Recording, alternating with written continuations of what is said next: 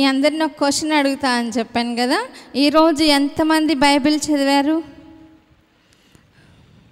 పోయిన వారం అడిగితే ఎవ్రీడే ఎంతమంది బైబిల్ చదువుతున్నారు? మీ చేతులు ఎత్తండి. అంటే మరి ఒక్క ఒక్క చెయ్యి నాకు కనిపించింది ఈ లైవ్ లైవ్ చాట్లో. మరి మీరందరూ మీళ్ళల్లో చేతులు ఎత్తారేమో నాకు తెలియదు కానీ మరి నిజంగా మీరందరూ ఈరోజు బైబిల్ చదివారా? బైబిల్ చదవటం వలన ఏం ప్రయోజనాలండి అని ప్రశ్న వేస్తారా? మీ అందరికీ ఒక మంచి ఆన్సర్ ఇవ్వాలని అనుకుంటూ ఉన్నాను. విశ్వాసులమైన మనము దేవుని బిడ్డలుగా ఉంటున్న మనము తప్పకుండా ఎవ్రీడే బైబిల్ చదవాలి. మనం చదువుతూ ఉంటే ఆటోమేటిక్గా మన పిల్లలు కూడా వాటిని చదువుతారు కదా? మరి తల్లిదండ్రి తండ్రి సిగరెట్ కాలుస్తున్నాడు అంటే కొన్ని రోజులకి ఆటోమేటిక్గా ఆ పిల్లోడు కూడా ఆ వ్యసనాలకే బానిస అయిపోతాడు ఎందుకంటే అది అలవాటు అయిపోయింది మరి ఈ లోకంలో అలాంటి వాటికి బానిసలైపోతున్నా భయపడట్లేదు కానీ దేవుని వాక్యం చదవాలంటే టైం లేదంటారు విశ్వాసులైన వారు. బైబిల్ చదవటం వలన చాలా ప్రయోజనాలు ఉన్నాయి ఎప్పుడో ఒకరోజు దాని మీద నేను మీతో మాట్లాడతాను. ఈరోజు బైబిల్ ఎంతమంది చదివారు?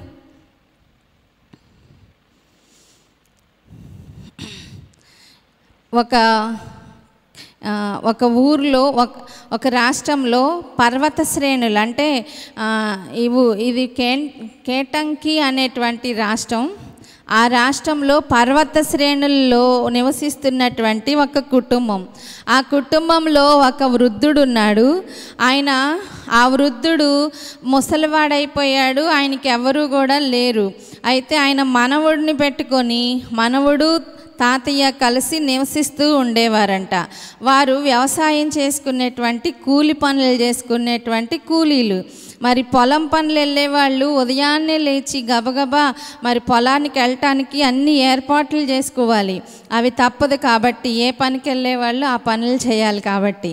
అయితే ఈ వృద్ధుడు కూడా ఈ వృద్ధుడు వ్యవసాయ పనికి వచ్చేటప్పటి వచ్చేవాడు అయినప్పటికీ కూడా ప్రతి ఉదయాన్నే ఈ తా ఈ ముసలాయన ఈ వృద్ధుడు తన వంటగదిలో డే డైనింగ్ టేబుల్ దగ్గర కూర్చొని పాతదైన చినిగిపోయిన బైబిల్ చదువుతూ ఉండేవాడంట.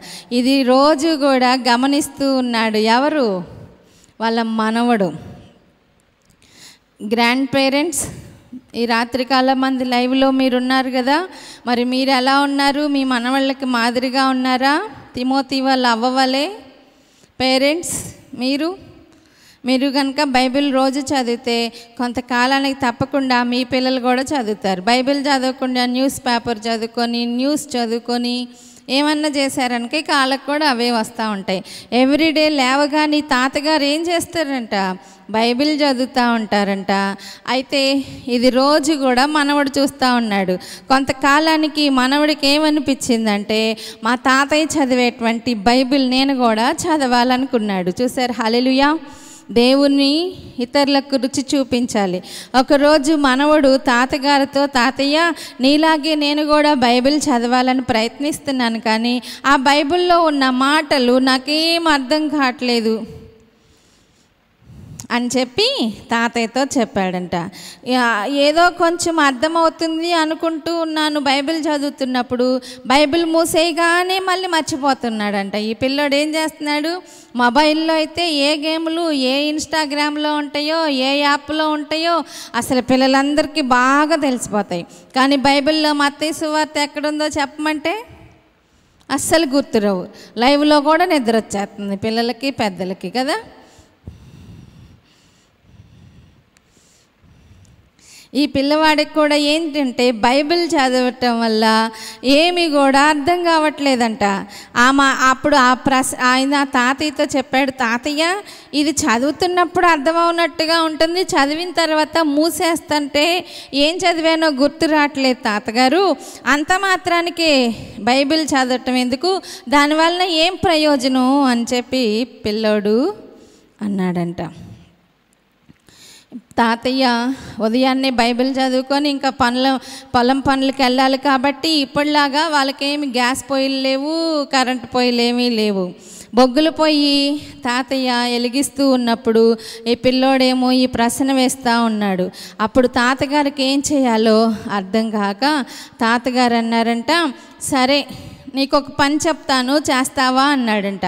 "ఆ, చేస్తాను తాతగారు అన్నాడు. ఇంకా ఆ తాతగారు బొగ్గులు పొయ్యి వెలిగిస్తున్నాడని చెప్పాను కదా ఆ బొగ్గులన్నిటిని కూడా ఒక గంపలో వేసుకొని పెట్టుకుంటారు పొదిగ్గా.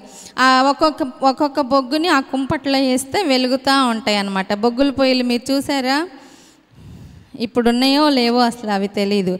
అయితే ఆ తాత ఏం చేశాడంటే బొగ్గులన్నిటినీ అక్కడ గుమ్మరిచ్చేసి బాబు మరి నువ్వు అర్జెంటుగా వెళ్ళి ఈ బుట్టలోకి వెళ్ళి మన ఇంటి మన చివ మన ఊ- ఊరి చివరన ఒక కాలం ఉంది. ఇది మనకి ఎలా కాలువ ఉందో వాళ్ళకి కూడా ఒక చిన్న నది ఉందంట.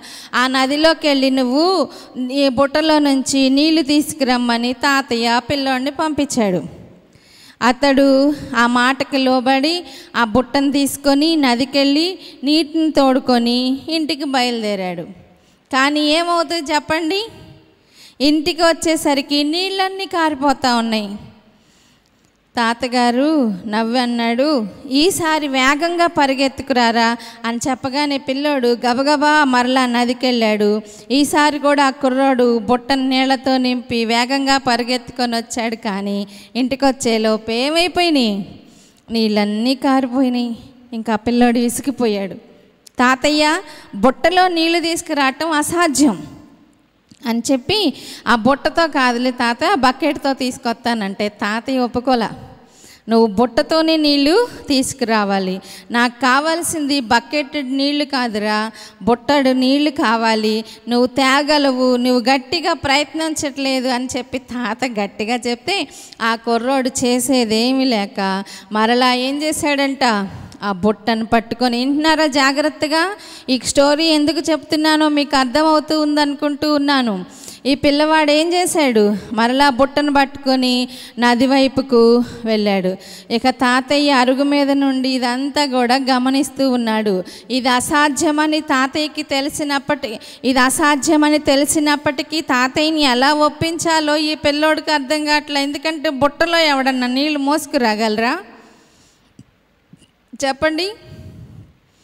ఇప్పుడు తన ప్రయాసను తాతయ్య కళ్ళారా చూస్తున్నాడు. కాబట్టి ఆయన నోటితో ఇది అసాధ్యమని చెప్పించాలనుకున్నాడు. బుట్టను నీళ్ళతో నింపి తన శక్తినంతటిని ఉపయోగించి పరిగెత్తగలిగినంత వేగంగా పరిగెత్తసాగాడు. అయితే ఎంత పరిగెత్తినా సరే మరలా అదే తంతు. బుట్ట మాత్రం ఖాళీగా వస్తుంది ఇంటికి. ఎందుకని? బుట్టలో నీళ్ళు ఎక్కడైనా ఉంటాయా దేవుని బిడ్డలారా? అప్పుడు ఆ పిల్లోడు చూడు తాతయ్య ఇందులో ఏం ప్రయోజనం లేదని కోపంగా అన్నాడంట పిల్లోడు. ఎన్నిసార్లు బుట్టతో నీళ్ళు తెచ్చినప్పటికీ కూడా ఒక్క బొట్టు కూడా ఏం చేయలేకపోయింది. తాతయ్య దగ్గరికి తీసుకురాలేకపోయాడు. పిల్లోడు బుట్టతో నీళ్ళు తేవటం బొట్టలో నీళ్ళని కారిపోవటం తేవటం కారిపోవటం. ఇంకా కోపం వచ్చేసి తాతయ్యతో చెప్పాడు ఇది అసాధ్యం తాతయ్య. నేను మాత్రం బుట్టతో నీళ్ళు తేలేను అని చెప్పి పిల్లోడు కోపగించుకున్నాడంట.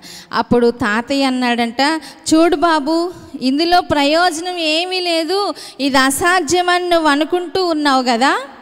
ఒకసారి ఆ బుట్టను చూడు అన్నాడంట తాతగారు. వింటున్నారా జాగ్రత్తగా? ఆ బుట్టను చూడు అన్నగారు ఆ కుర్రాడు బుట్టను చూడగా ఆ బుట్టలో ఒక వ్యత్యాసం కనపడింది. ఏం వ్యత్యాసం కనపడి ఉంటుందంటారు దేవుని బిడ్డలారా? అది మసి పట్టిన పాత బొగ్గులు పెట్టుకునేటువంటి గంప. ఇప్పుడు ఆ గంప తీసుకెళ్ళినప్పుడు ఎలా ఉంది? మసితో ఉంది. ఇప్పుడు చూసుకుంటే కదా ఆ గంప ఎలా ఉందంట? శుభ్రంగా ఉందంట. అది చూసినటువంటి బాలుడు తన కళ్ళను తను నమ్మలేకపోయాడంట. అతడు ఆశ్చర్యంలో నుండి తేరుకునే లోపే తాతయ్య అందుకొని అన్నాడు చూడు బాబు బైబిల్ బైబిల్ చదివేటప్పుడు కూడా ఇదే ప్రక్రియ జరుగుతుంది.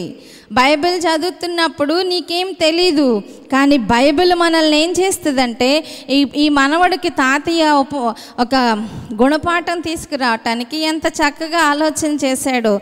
దేవుని వాక్యాన్ని చదువుతున్నప్పుడు నాకు అర్థం కావట్లేదు. దానివల్ల ఏం ప్రయోజనం అని క్వశ్చన్ వేసిన బాలుడికి తాతగారు చెప్పిన మాట ఏంటంటే ఈ బుట్టలో నీళ్ళు తీసుకురమ్మన్నప్పుడు బుట్టలో నుంచి నీళ్ళు తీసుకొచ్చినప్పుడు ఒక్క చుక్క అయితే నీళ్ళు రాలేదు కానీ ఆ బుట్టంతా కూడా ఏమైపోయింది?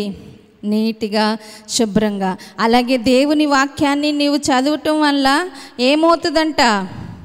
దాన్ని చదవగా అది నీ అంతరంగాన్ని శుభ్రపరుస్తుంది.